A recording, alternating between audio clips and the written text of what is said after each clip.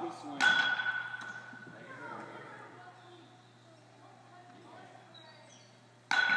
Oh, watch the ball. Good guy with the ball, man.